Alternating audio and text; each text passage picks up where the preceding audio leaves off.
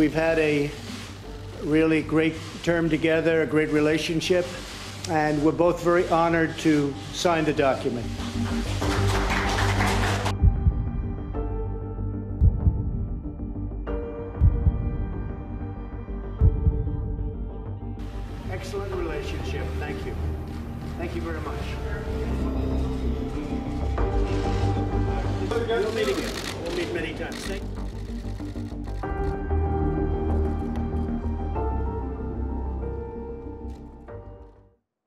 Traded insults and threatened to wipe each other out.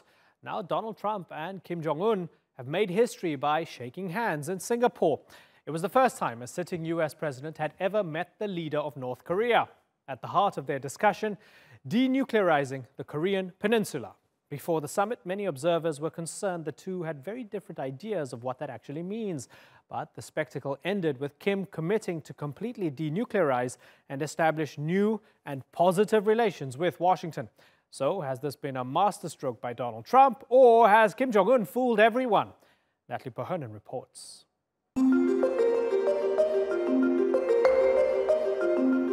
Small steps for a president and a chairman, one giant leap for diplomacy. The North Korean leader Kim Jong un joked with US President Donald Trump that their meeting seemed like a science fiction movie. But the two men appeared to have created a reality show of their own.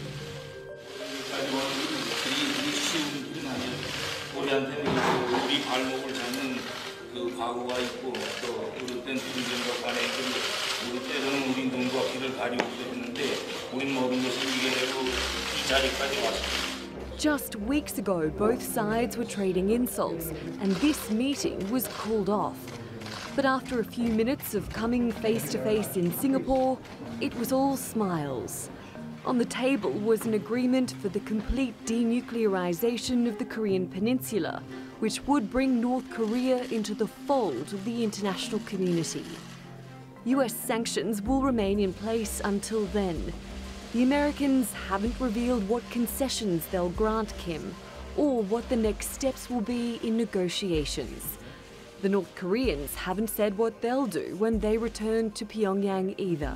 And we have developed a, a very special bond. So uh, people are going to be very impressed, people are going to be very happy, and we're going to take care of a very big and very dangerous problem for the world. For a world watching a once in a generation meeting, history has already been made. But what will happen in the next episode of the Kim and Trump show?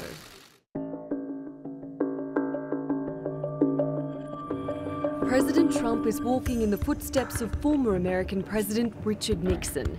He travelled to China in 1972 and met the Chinese leadership, including Chairman Mao Zedong. It would still take seven years for formal ties to be established, but that meeting was crucial to opening up the country to the rest of the world. The Singapore summit could prove another milestone for East Asia. The past does not have to define the future. Yesterday's conflict does not have to be tomorrow's war. And as history has proven over and over again, adversaries can indeed become friends. The North Korean regime has isolated itself and its people. Defectors describe a dictatorship run on indoctrination and punishment for those who don't accept the party line. Trump says he did bring up human rights. However, the main focus of this summit was always reducing the nuclear threat. The US is not calling for regime change. But could we see a change in the way the regime interacts with the world? Natalie Pohonen, The Newsmakers. Well, let's go to our panel now. Joining me from Washington, we have Han Park. He's the founding director of the Center for the Study of Global Issues. And also in Washington, D.C. is Bruce Klingner. He's the CIA's former deputy division chief for Korea and is now a senior research fellow for Korean affairs at the Heritage Foundation. Gentlemen, thanks for joining us. Han Park, let me begin with you. You're always extremely optimistic whenever I talk to you that North Korea can come in from the cold. So let me ask you now is the deed done? Has it happened? Is North Korea finally in from the cold? No, actually, the written agreement uh, at Singapore uh, was not sufficient enough. There was no concept of complete, uh, verifiable, irreversible denuclearization. Those four words were not there.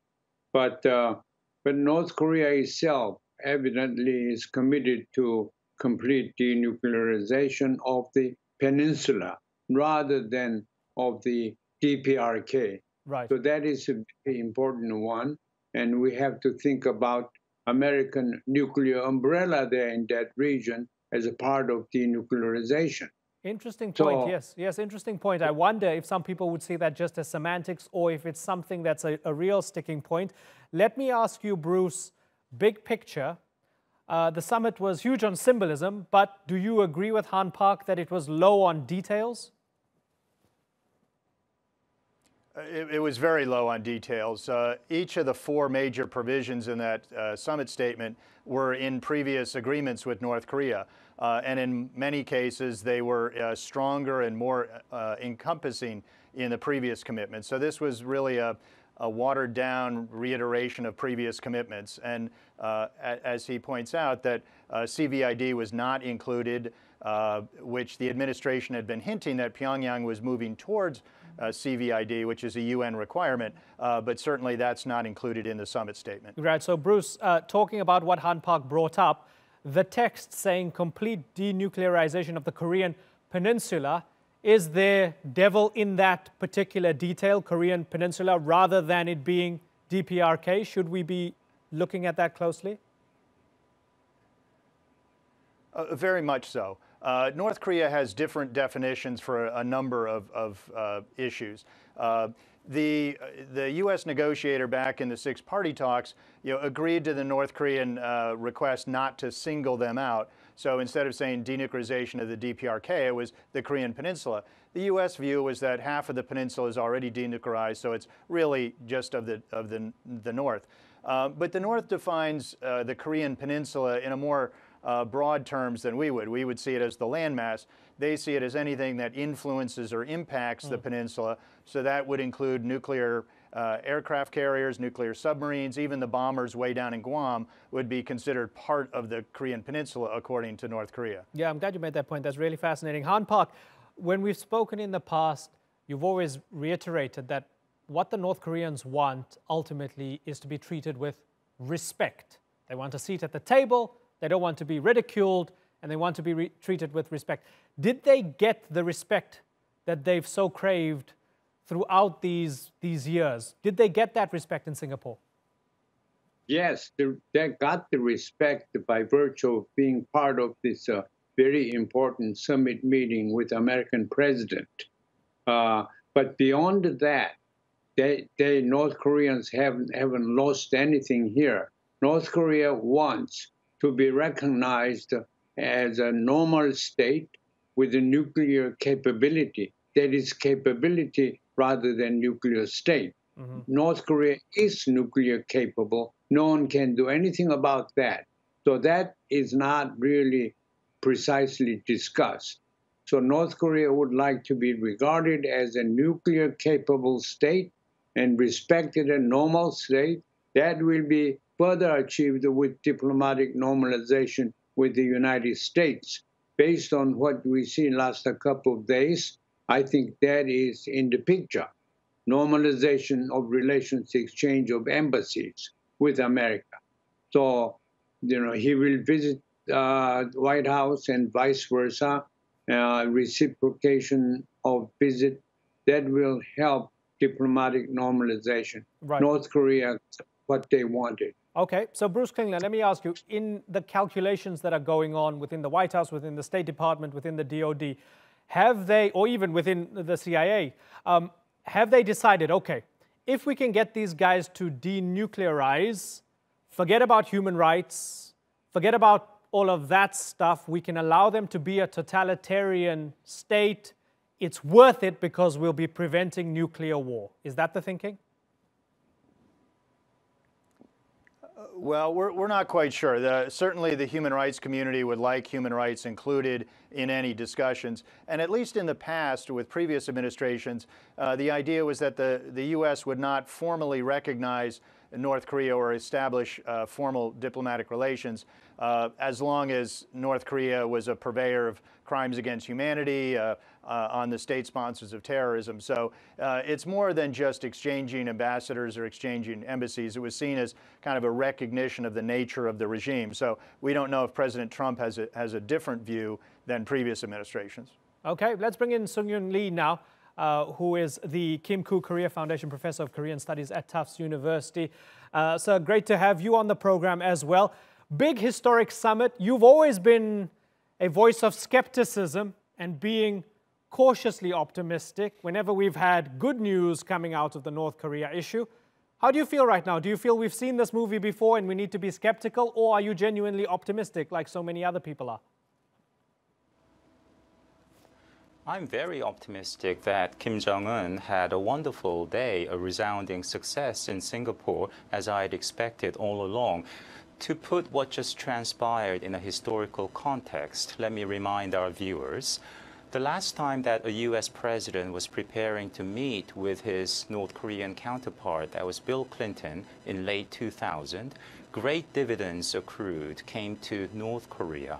That year, the father, Kim Jong il, came out of his isolationist shell, dramatically called for the first ever inter-Korean summit, which happened in mid-June. And a fortnight before that important meeting, Kim Jong il took a secret trip to where? Beijing. Why? Because he had an important meeting coming up with a South Korean leader and wanted to discuss it over with his patrons. That was the first ever foreign foray by Kim Jong il. That was the first visit to China six years after inheriting power in 1994. So, do you see a pattern here? Kim Jong un made his first visit to China six years after inheriting power in 2011 uh, just about a month before his meeting with Moon Jae-in of South Korea. Next month, in July, after the Inter-Korean summit, Vladimir Putin visits Kim Jong-il, the first ever visit by the top Russian or former Soviet leader. Why? Due to the violent mood swing, the dramatic change in the dynamics in the region. Then Kim Jong-il sends an envoy to Bill Clinton, invites him to Pyongyang, and Clinton is very keen on making the trip. First, he sends his Secretary of State, Madeleine Albright, to meet Kim Jong-il in North Korea. That visit takes just 12 days after the North Korean envoy's meeting in the White House with Bill Clinton. And Clinton could not really make the visit because of the vote recount in the wake of the presidential election on November 7th. And Al Gore did not concede defeat until mid December. So simply, time ran out on Clinton. Just one more example, if I may. The next January, Kim Jong il visits southern China, the province of Guangdong, where you have the special economic zone in the cities Guangzhou, Shenzhen, and Zhuhai. And Kim Jong il was repeating the Southern Tour, so called, undertaken by Deng Xiaoping, the architect of China's reform and opening. That visit took place in January and February of 1992. What did the world say? Look, we have the second coming of Deng Xiaoping, right. a reform minded North Korean leader. Things will get better. That was 18 years ago. Nothing really happened in terms of genuine reform or denuclearization. Imagine the excitement that will greet Kim Jong un if he shows up in those southern economic zones or if he comes to the UN General Assembly and speaks, people will say this is a reform minded North Korean leader, the arrival of um, a great reform minded, open global statesman from North Korea. Right, right. So, Han Park, listening to yeah, that timeline, it's difficult not to think that Trump is being played right now, right? Well, in a way, in a way, Trump is being played uh, by Kim Jong Un. But Kim Jong Un is not interested in opening up and privatizing the economy whatsoever. I think we assume Kim Jong Un as uh, uh, Korean Deng Xiaoping may lead, lead us to think that Kim Jong Un will be a little capitalist uh, and a little private ownership and capitalist oriented leader that is not in the card. North Korean party is not like that. In, in North, what controls North Korea right now is the party, Korea Labor Party, rather than Kim Jong Un himself. He's different from third Right. world usual dictator. Right, Mr. So Park, does sorry to interrupt you. Does Yeah. that mean that reunification is completely impossible then? Because then you have a very different country south of the border. If you're saying North Korea is fundamentally different and it doesn't want Western style democracy or however you deny it, is it impossible to ever reunify because those two things don't go together, do they? Well, yeah, if they unify in the form of uh, confederate state as is being agreed upon by both regimes, that North Korea will maintain its ideology, its rule characteristics. South Korea will do likewise, and then you have a coordinating kind of system uh, in in the form of confederate state. So they have a way of genuine way of dealing with the differences. Eventually, the differences will be Right. reduced and integrated. Okay. But there's a way unification. Okay, big question marks over that. We're going to say goodbye now to Han Park. We thank you for being with us, sir. Gentlemen, you, you stay uh, where you are. We're going to bring in Steve Okun from Singapore now. He's a former deputy general counsel in the US government during Bill Clinton's administration. Steve Okun, good to have you on the program. Democrats are not necessarily very happy with the principle here because they feel that Trump has one principle for North Korea and one principle for the Iran deal. Is that the way you see it? Well, what I really see is that he has just a very transactional approach to foreign affairs. He has a transactional approach uh, to economic policy, and that doesn't work. We need to have a multi party approach that has an engagement with the global system, and that's really um, what's lacking with Trump's economic engagement and, and foreign policy engagement. Okay, transactional. As part of this transactional thing, one of the concessions that he mentioned is with regards the war games and the future of the U.S. troops on the peninsula. Let's have, have a little listen to this, and I want Sung-Yoon Lee and Bruce to respond to this in a second. Let's have a, a quick listen. We have right now 32,000 soldiers in South Korea.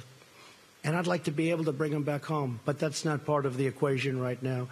At some point, I hope it will be, but not right now. We will be stopping the war games, which will save us a tremendous amount of money, unless and until we see that the future negotiation is not going along like it should. Sung-Yoon Lee, what do you think? Good idea, stopping the war games. The North Koreans felt provoked every time the US and South Korea did those war games. Trump is saying, okay, we're going to stop them. What do you think? First, a couple of technical mistakes by the President of the United States. There aren't 32,000 US troops in South Korea, more like 28,500.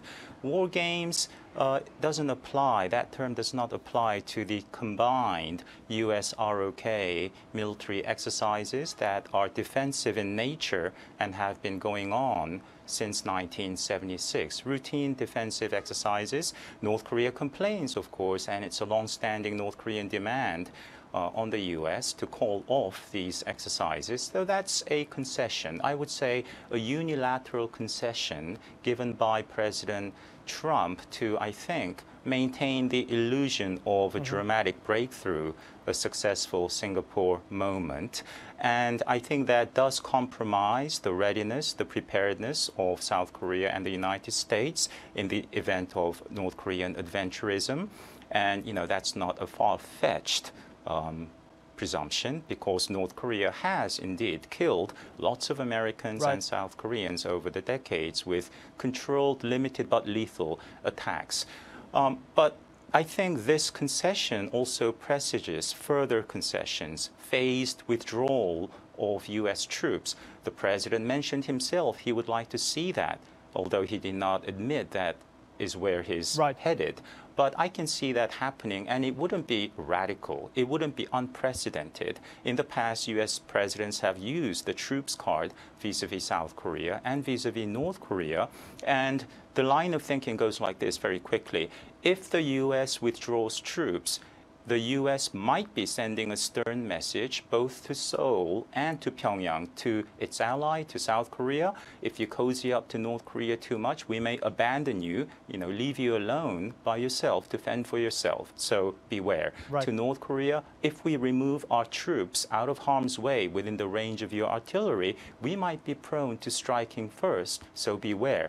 Now that on a very superficial, logical level seems to make sense, but I think that is miscalculation, and I don't think that's in the best interest of the United States when you consider the global context of U.S. Right. policy toward the region. Bad idea, stopping those drills, which Trump himself called war games? Yeah, it's an extremely bad idea. It is a unilateral concession. Uh, since January of 2015, North Korea had floated a freeze for freeze proposal uh, where they would freeze uh, their nuclear and missile tests, which they are prohibited from doing, uh, according to UN resolutions, in return for the allowable uh, U.S. South Korean military exercises. Of, the, of course, the U.S. always rejected that. They were North Korea was trying to offer something they didn't legally possess, and of course, nothing was ever said about North Korea's own summer training cycle and winter training cycle. So, uh, what the president has done is embraced one half uh, of that proposal, uh, and not even getting anything in return because there's no comment about the freeze of tests in the summit document. Steve? Yeah, look, the president has withdrawn from every multilateral agreement that we've been a part of. He withdrew from Paris, he withdrew from the TPP, he withdrew from Iran. He has not shown any ability to create a new agreement. What we have here today is not a new agreement. It is a unilateral concession by the U.S. on a number of fronts for a reaffirmation of what the North Koreans had already agreed to two weeks ago with the South Koreans. And so I don't think a lot came out of today. Now, talking is better than war. I mean, I think you would argue this strategy is better than a bloody nose strategy, but it's certainly not what we expected going into today. Steve, what if he pulls it off? Yes, North Korea does terrible things, horrible human rights record. There are gulags in the country. Um, UN reports say that they're committing crimes against humanity against their own people. Yes, they threaten the US and South Korea. Yes, they have nuclear weapons. But what if Trump has started a process that he sees through to the end and he pulls it off? There's denuclearization, and North Korea comes in from the cold, opens up. Will you concede, okay, maybe there's some method to the madness? Trump has pulled it off. Hats off to the man. Credit where it's due. If he can do a Nixon goes to China, then by all means he should get all the same credit that President Nixon got when he opened up China. I think President Clinton should get a lot of credit for Vietnam. President Obama should get a lot of credit for Cuba. The same that President Trump should get a lot of credit if this works. He is going down a very interesting strategy and path to get there, not the one that he laid out, saying that we wanted uh, complete uh, verifiable irreversible nuclearization before we started negotiating. We're negotiating before we get there. But if this works, of course he gets credit. Okay, gentlemen, this was infinitely interesting. Unfortunately, I've got to move on, but I thank you all for joining us here on the Newsmakers. Sung-Yoon Lee, Steve Okun, and Bruce Klingner. Thank you. Thanks again.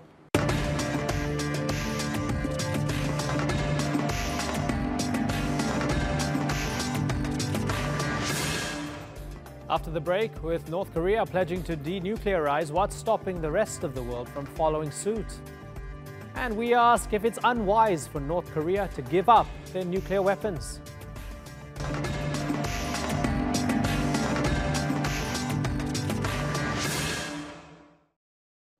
After the historic summit in Singapore, are we now one step closer to a world without nukes? Well, right now it's thought there are at least 15,000 nuclear weapons spread across nine countries.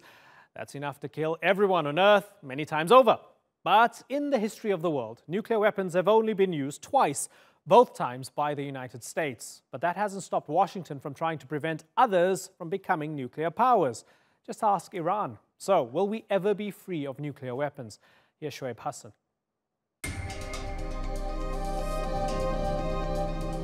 Despite talking peace in Singapore, many people say Donald Trump's recent decision to end the nuclear deal with Iran has made the world a more dangerous place. In the meantime, powerful sanctions will go into full effect. If the regime continues its nuclear aspirations, it will have bigger problems than it has ever had before. Iran's response was outrage and an announcement it would now push ahead with enriching uranium. That's a first step towards building nuclear weapons in violation of the Nuclear Non-Proliferation Treaty, or NPT, of which it is a signatory.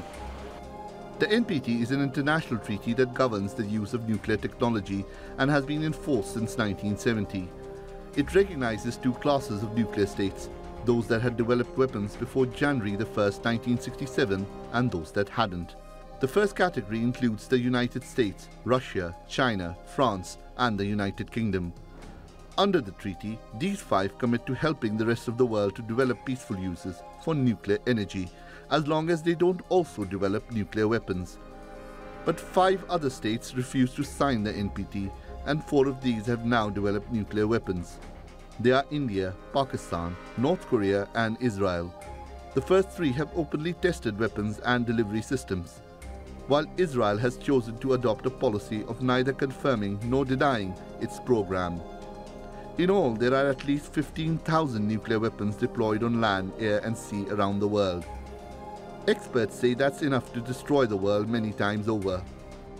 Officials say the likelihood of such a global conflict is low, as 90% of the weapons are with the US or Russia, with fairly stringent safeguards in place. But they admit that a regional conflict might happen, potentially between India and Pakistan, who have already fought four conventional conflicts. And now Iran's decision to reignite its enrichment program could add an even more dangerous dimension to its nuclear rivalry with Israel. So, is the NPT now failing after years of helping to lessen the threat of nuclear weapons? And exactly what risk does the emergence of new weapon states pose to the world? Shoaib Hassan, the newsmakers. Well, joining me now from Tehran is Iranian affairs analyst Dr. Saeed Mustafa Khoshcheshm. In Athens, we have the author of Nuclear Iran, David Patrikarakos. And in Boston, Dr. Jim Walsh. He's a senior research associate at MIT's Security Studies program. Gentlemen, thank you very much for joining us on the Newsmakers. Uh, Mustafa Khoshcheshm, let me start with you. As an Iranian watching things unfold in Singapore, does it annoy you? Well, uh, first of all, thanks for having me on the show. Uh, no, it doesn't annoy us because uh, denuclearization is a requirement of modern world. Uh, the, the, nuclear weapons of the declared uh, nuclear weapons states uh, are endangering global peace and security. But the point is that the U.S. is not in talks with North Korea for the promotion of peace and security throughout the world.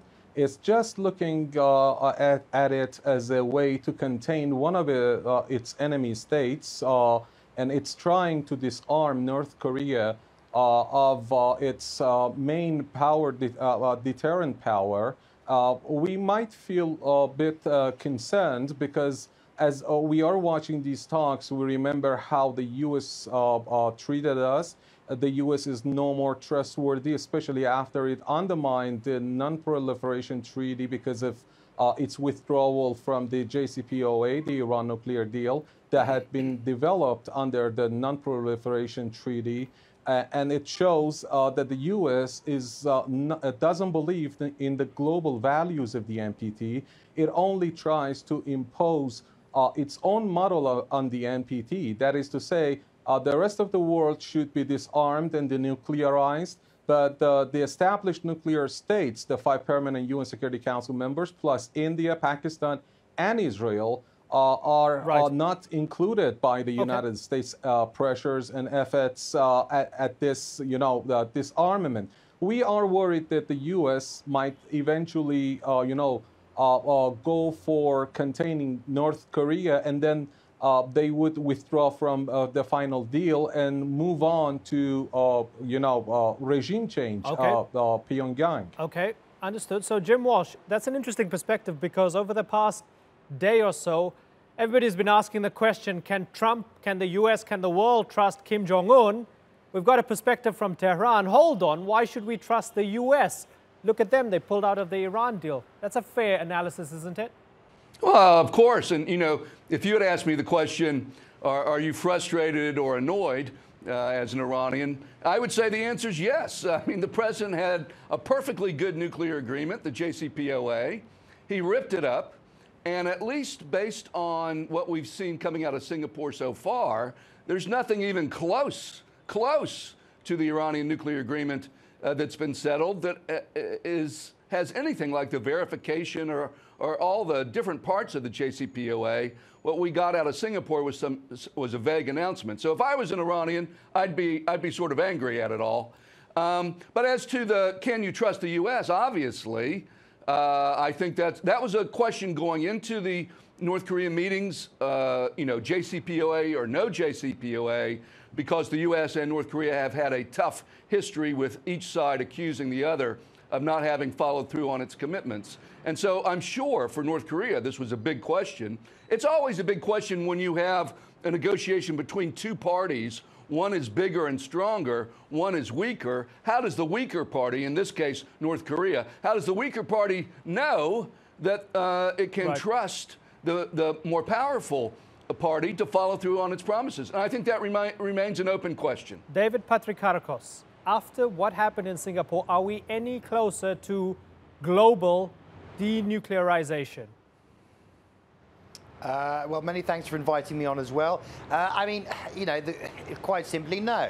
Uh, in answer to your earlier question, I think whether you're an Iranian or not an Iranian, you've got to be frustrated by the tearing up of the nuclear deal. I would take issue with the gentleman in Iran, however, uh, in terms of, uh, you know, the non-proliferation treaty is an avowedly asymmetric treaty.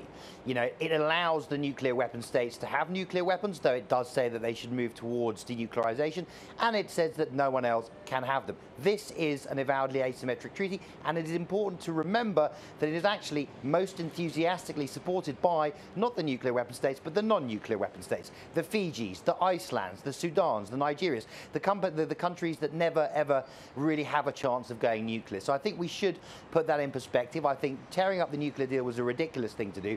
And obviously, what we're seeing today doesn't bring us anywhere to denuclearization. I think, to be honest, denuclearization of North Korea is unrealistic.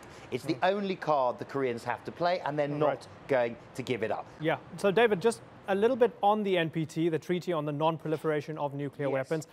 Um, would you forgive many countries for seeing it as a waste of time because you say it's asymmetric? It's the way, I guess, Many countries see the Rome Statute when it comes to international justice and whether you can go to the ICC or not, right? So we look at the NPT, India, Pakistan, Israel didn't sign up, North Korea signed up and, and left, they pulled out. Was a country like Iran's biggest mistake that they signed up to it initially and allowed themselves to, inspect, to be inspected and all of that? Should they just stayed out of the game? Look, I, for my book, uh, which is uh, the, the, first in English at least, History and Analysis of the Nuclear Program from the beginning of the 1950s to the present day, I spoke to Akbar Etemad, who essentially came on board a few years after the, uh, the program's origins with uh, an Atoms for Peace reactor given. And he said, had he been in charge of the program, he never would have allowed, or as far as he could, he would have advised that Iran never signed up to it. This is one thing we also have to remember as well. The Shah was one of the first signatories of the NPT. Iran was not coerced into signing the NPT. It did so willingly, and the Shah wanted Iran to stand as a model for other countries. And this anti-nuclear weapons stance is something that the Iranians claim has continued. Ayatollah Khomeini was said to have issued a fatwa against uh, the, the acquirement of nuclear weapons, which Ali Asghar Soltanieh, Iran's ambassador to the IAEA, told me personally in, uh, in Vienna, he told me this has been done, and Ayatollah Khamenei has reportedly issued a fatwa against nuclear weapons. So certainly Iran avowedly has no nuclear weapons ambitions. It did sign up willingly to the NPT, and the NPT benefits most the non-nuclear weapons states. And I have to say, look, it has been remarkably successful. When the non-proliferation architecture first began with Eisenhower's Atoms for Peace process in the 1950s, the NPT has only seen one signatory go nuclear, and that is North Korea. Now, one, one signatory essentially withdrawing and going nuclear after almost half a century isn't too bad. If, I don't think many people in the right. 60s would have predicted that. Right. Mustafa Khoshcheshm, for those who make the distinction between a country like Iran and North Korea, they say, well, you know, Iran is clearly far more democratic and so forth. But they would also say, well, North Korea says many crazy things. It does those missile tests, it does those nuclear tests, but it's fundamentally a hermit kingdom, right? It doesn't have greater cultural or political designs on its neighbors and the region, whereas many Gulf states, the Americans, the Israelis, and others feel that Iran is almost a semi imperial power, if not a fully blown imperial power in the region. And that's one of the reasons why they have to be harsher on the Iranians vis a vis nuclear weapons and ever getting that deterrent than even the North Koreans. Your response would be what? Well, um, I don't believe in that because uh, the United States is dealing with its enemies uh, almost the same. Uh, uh it's it's a strategy for uh, you know uh, these rogue states or enemy states is going through containment. when war is not an option, though the threat of a war is present, in order to encourage the enemy states to come to the negotiating table, it's used as a as a stick along with the sanctions. Uh, uh, then uh, the, the best next option is intensifying sanctions in order to push them towards negotiations. That's the way the United States is dealing with its enemies. That's containment. And it's done with regard to Iran and with regard to North Korea take a look at uh, CAATSA, or the Countering America's Adversary Sanctions Through Sanctions uh, Act, uh, it mentions Iran, Russia, and North Korea all the same. There are different principles and rules applying to each, but uh, the framework is the same. Uh, it shows that the United States means to contain them first through sanctions and threat of military action, and then it tries to push back their power components one by one. Um, the United States' strategy has always been what uh, George W. Bush said you're either with us or against us. And for each state, uh, they'll find their own excuses. Right. Now, when they were talking about North Korea first, they were speaking of its military nuclear capability. But little by little, we see that human rights issues and cyber attacks are bringing up to be put on the table. I don't know. They have not uh, yet defined what the you know what the contents of a deal could be. If it's a limited agreement or if it's a grand bargain. Uh, they have not uh, right. discussed the, it, the yeah, breadth and the it, depth and the mechanism. Right. It, and it doesn't. It doesn't seem as if human rights. It does seem as if human rights have been sacrificed. Road. Certainly, it does seem as if human rights have been sacrificed, and, and I think it's worth mentioning the UN Commission of Inquiry on Human Rights in North Korea in 2014 spoke of evidence of extermination, murder, enslavement, torture, imprisonment, rape, forced abortions, and other sexual violence, persecution on political, religious, racial, and gender grounds forcible transfer of populations, the enforced disappearance of persons, and the inhumane act of knowingly causing prolonged starvation. It's nasty, right? That doesn't seem to have been discussed in Singapore. Maybe very little was discussed in Singapore. I want to move on slightly, and David, I know you wanted to jump in, so my apologies.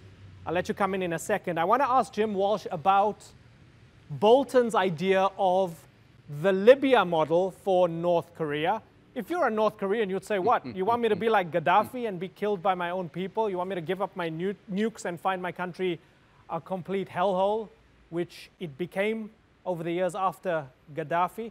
Was that a stupid idea by Bolton? It may have been on purpose. It might have been. I, I can't believe that John Bolton is very happy with the last 48 hours. He's a neocon. He's argued for use of military force against Iran, against North Korea, against other countries. And this might have been, I mean, who knows? He might have said it on purpose in order to annoy the North Koreans and therefore to sort of derail this process. And it almost worked, except for the fact that uh, the summit was put on track after those letters. Uh, so, you know, I don't know what's in the head of John Bolton. I, I will say a couple of things, though. I do think the NPT has been very effective, far more effective than anyone could have ever predicted in uh, helping uh, reduce the spread of nuclear weapons. And I think also that, um, yes, uh, Iranians have a lot of uh, justifiable complaints, you know, going back to 1953 and the overflow, uh, overthrow of uh, their elected prime minister. But I do think we have to make some distinction between Donald Trump as president and then sort of the United States in general. I mean, I, Obama did negotiate and sign the JCPOA, and Mr. Trump is the most unusual president in modern history. I mean, it's mind blowing. Right. So I'm not sure we should necessarily define the United States as Donald Trump. Right. Uh, but I, I, think we're, you know, I, I think it's going to be interesting to, to your point going forward. Uh, do we have a situation where Secretary of State Pompeo is in a struggle with John Bolton for the president's attention uh, and, and favor. And I, I think we may be entering that phase. David, let me ask you a broad question, and you can fold in what you wanted to say into the Sure. broad question. But fundamentally, when people hear that the United States, the UK, Russia, China, France, Israel, India, Pakistan, these countries deserve their nuclear weapons, they have their nuclear weapons, and that they are responsible nuclear weapons holders, and other countries are not, that is fundamentally rubbish, isn't it, David? Yeah, but that's not what the deal says. That's not what the bargain is. Now, in the uh, in the NPT, the nuclear powers are those that already had nuclear weapons. So that bell could not be unrung. So that was accepted. The second thing is that both India, Pakistan, and Israel had to develop their programs clandestinely. And then essentially it was too late, and they were, and they were discouraged from doing so at every point. The third point is again, you know, you have to understand the people most invested. You know, it is not a question of the nuclear power strutting around with their capability, saying you don't deserve this, you don't deserve that. It is the tiny countries that don't have the capacity to ever go nuclear that are most invested in this. So it's not a question of deserving it. It's not a question of people, some people being responsible or not. Although I would add that no one, you know, apart from Pakistan, where there is uh, issues where some parts of the country, the tribal areas particularly, are almost, you know, a separate, you know, a separate entity. Uh, there hasn't been, you know, any real uh, concern over the responsible or irresponsible use of nuclear weapons. Certainly not. Uh, I mean, the Arab states, for all their problems with Israel, have never ever worried about Israel nuking them. Uh, look, I would want to return slightly to the current situation. Now, I've interviewed John Bolton, and he's personally an absolutely charming man, but suffers from the singular defect of being quite mad and especially when it comes to Iran. I mean, he's just itching to have a go at Iran. So, what concerns me is, first of all, we've torn up a deal that was uh, an, a, you know, a very good deal. The, the common misconception you see between opponents of the deal is that uh, you know it was the choice between this deal and a better deal. It wasn't. It was a choice between this deal and no deal. So, what concerns me is we have John Bolton, who, when I spoke to him, was was pretty much itching to bomb Iran. We have Pompeo, who is also like that. My only hope is that Donald Trump's famously short attention span means that uh, that some of them will be fired within due course. Apparently, he doesn't like moustaches, so maybe Bolton's already on borrowed time. The other point I was going to make was actually you have to make the distinction between America and Donald Trump, which the point was already made. Obama, you could not say was oh, with us or against us person. He very much, from the first day of his inauguration, outstretched his arms toward Iran. Okay, very finally, let me go back to Tehran, Said Mustafa Khoshcheshm. Are Iranians more than ever in recent times preparing for war, given the relationship with the United States right now and seeing what the US is doing elsewhere, which seems like a bit of a double standard vis a vis the Iranians? Well, uh, before uh, I answer your question, I would like to express my view that uh, Donald Trump uh, is not a separate man from the U.S. establishment. Uh, he has been able to beat uh, his rivals, but Mr. Obama, the former president who struck the deal with Iran, the violation of the JCPOA started when he was in office. We remember the visa change, uh, waiver program that was changed uh, then and uh, they promised, John Kerry specifically promised Iran Zarif that they would do something about it, but they never took any action.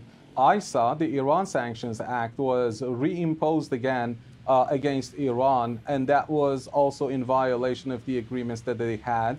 And uh, it was all under President Obama. It was under President Obama Okay, that you- you foreign feel banks Trump was a continuation of Obama. intimidated Fair from, enough. Okay. you know, doing business with Iran. But res- in response, in response to your question, uh, no, uh, we believe that the United States is not in a position to launch war against Iran. But uh, yes, Iran is preparing to withdraw from the JCPOA if you if that's uh, uh, the uh, you know the exact point that you want to you know uh, uh, you want its answer. Uh, Iran has given the Europeans enough time so far to comply with their undertakings and provided with need with the needed insurances that they would, uh, you know, uh, uh, guarantee Iran's continued economic merits under the deal. But nothing, not more than one or two weeks are left from the deadline that has been specified here in Tehran. And uh, if the Europeans, uh, uh, you know, fail to uh, guarantee Iran's continued merit, that seems to be the case now. Uh, Iran would declare its withdrawal from the JCPOA, okay. irrespective of any kind of consequences that might be posed. Okay, gentlemen, I've got to wrap, but it's fascinating because the Singapore summit uh, sheds new light on not only the US and North Korea and South Korea and so forth, but it, uh, it gets us to reinterpret and relook at so many other things US and Iran, the future of nukes, who should have weapons and not. And I'm glad we could sort of straddle a lot of those fields during this discussion. It's been a pleasure having you all on the Newsmakers. Jim Walsh, David Patrikarakos, and Mustafa Khoshcheshm. Thanks again.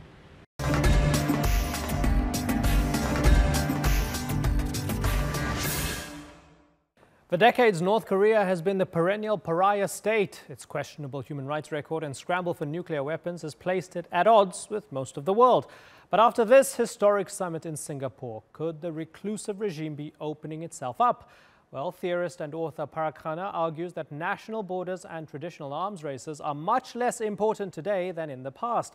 Rather, it's your connections to other countries and global markets that determine power. And with a new, seemingly more positive relationship between Washington and Pyongyang, is the Hermit Kingdom coming out of hiding? And if so, what would a normalized North Korea look like? Well, let's ask Parag Khanna now. He's the author of Connectography and joins us from Singapore. Good to talk to you. Are we seeing history in the making in Singapore? Likewise. Yes, we are. I think this is the beginning of something new. I think there's going to be a lot of hiccups and obstacles along the way. There's no doubt about it.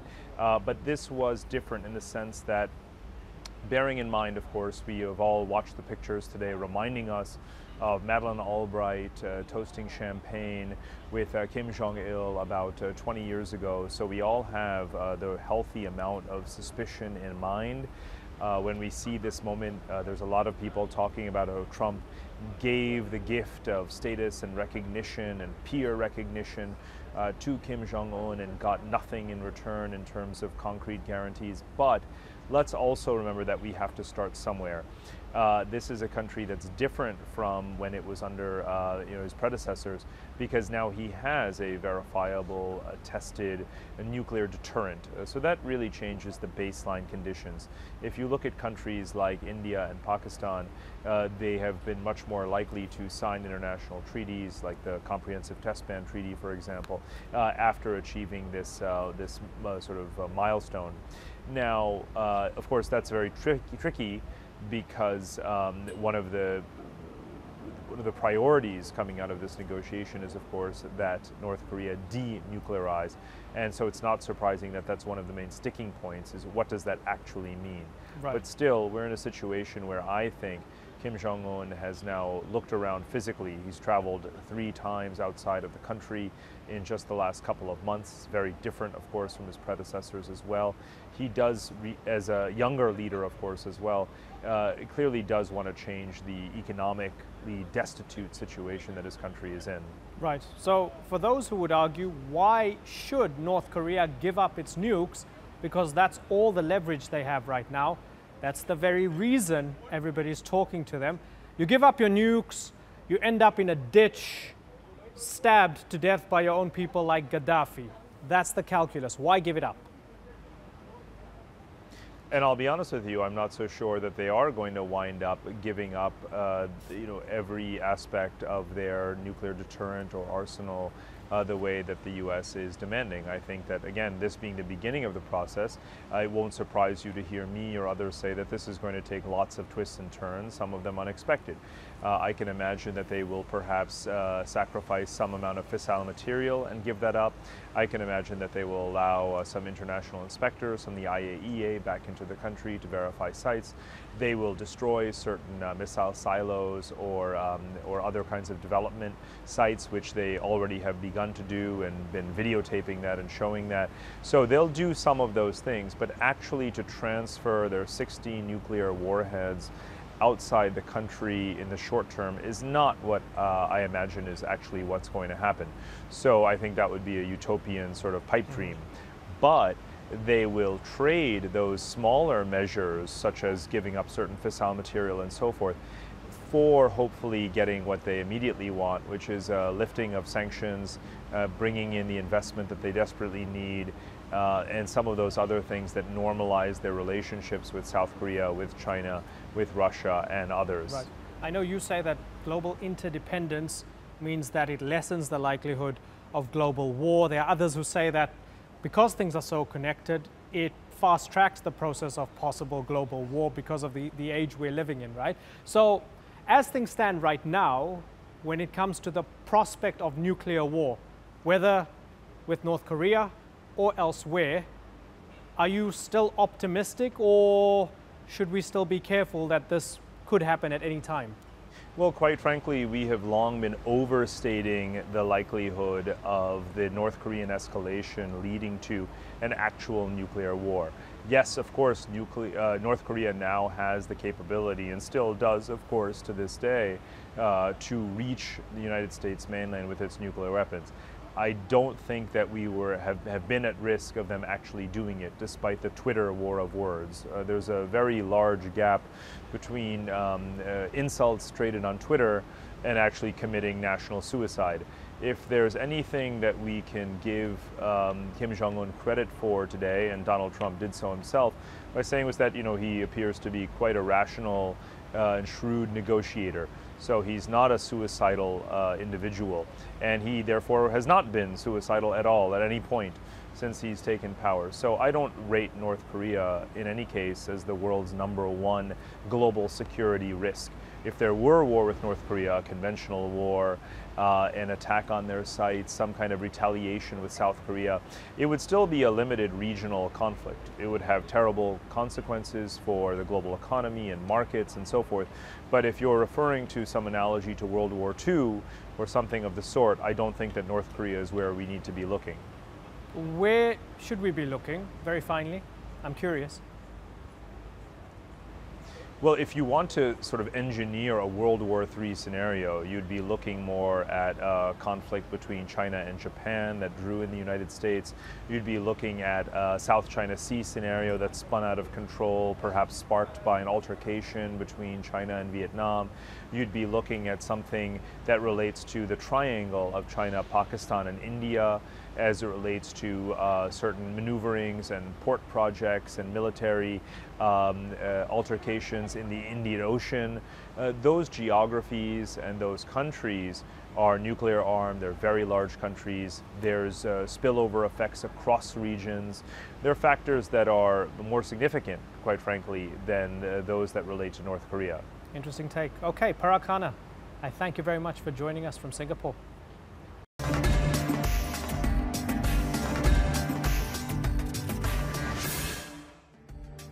Thanks for watching this special edition of the Newsmakers with me, Imran Garda. We leave you now with the most dramatic moments from this historic summit in Singapore.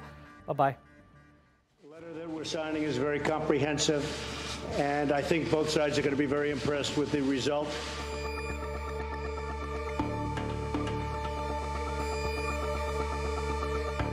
우리한테는 그 우리 발목을 잡는 그 과거가 있고 또 그릇된 전쟁과 관행들이 우리 때로는 우리 눈과 귀를 가리고도 했는데 우린 모든 것을 이겨내고 이 자리까지 왔습니다.